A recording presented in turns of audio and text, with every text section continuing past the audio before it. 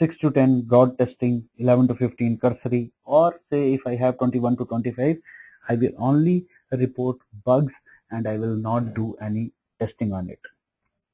So 16 to 20 if I get opportunity, say if I get time, I will do it. Now why I am leaving this 16 to 25? I why why I am not interested, you know, here much. Why I am not doing any extensive or broad testing here? Because my likelihood and problem both are on a very very low side. I can also trace it so you can see the last column which is of tracing. Now I can have this multiple roll up columns here. For example, uh, which requirement number we are talking about, which design document number we are talking about, which low level design document we are talking about, which test case is covering this, which system test case is covering it, which UAT test case is covering it. So we can have as much roll up columns as we require here. But all in all, this failure mode and effect analysis gives me a very good idea of what are the prioritized areas of my uh, application. Tips whenever you are doing this risk analysis, make sure that you have a cross-functional brainstorming team. Make sure that you identify the risk items and then assign the level of risk. Uh, make sure that you are considering both technical and business risk. I, I do a lot of emphasis on this. Technical and business. It is not technical or business risk. It is technical and. So there's an and operator between these two. So you must consider both of them before you can really say that this risk item is really highly prioritized item. Let's see a traceability matrix, which is little different. Again, thanks to Rex Black. Uh, I saw it one of the slides in Rex Black and uh, I took this example from there. Uh, say I have specifications uh, here and I have test cases on the other side. Now any test case which is directly testing a specification, I write two for a specification where the indirect testing is being done, I write one and the test cases which are not testing any particular specification, I keep them blank or write zero there. Uh, you might be thinking what is this direct and indirect testing. Now for example, if I want to say that, uh, say I can see the logo on home screen or not, I must have to log in and enter the home screen.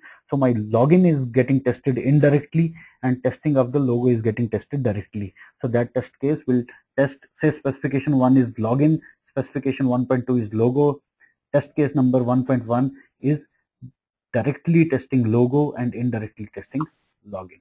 Once you have this complete numbers one to every side, you do a total. Simply you add up all these columns and rows. So you can see 1 plus 1 plus 1 plus 1 plus 2 gives you 6 here. Same goes on the other side. 2 plus 1 gives you 3 in this particular column. What these totals tell you? These totals are first of all relative to each other. Uh, second, you can you can analyze different things from these totals. For example, when I look at this traceability example, I see that this specification 1.2 seems to be the most important specification in my entire system because I am testing it directly by three test cases. Now I can go back and check whether really this specification is the most important or I have missed something. Or I can see that one of the specifications, uh, one of the test cases 2.5 is not testing anything. You can see the number 0 coming here. So it is not testing any of the specifications. So what this test case is doing here. Or I can also see that specification 1.3 is not getting tested by any test case. I can ask questions. Why? If you see this test case 2.3, it is directly testing three specifications. I can go and review it back, checking that whether this test case has enough steps in it to test three specifications directly or not. So I get a lot of questions and I get a lot of queries solved because of these totals. So it is again a kind of review that will happen if we follow these totals and check the relative values of these totals. Okay. Let's go to some test design techniques now. Uh, most of you might be knowing it. The three basic techniques that we have specification based, which are also known as black box techniques. Uh, then you have a, a, structural based technique, which is also known as white box technique by many people. And finally, uh,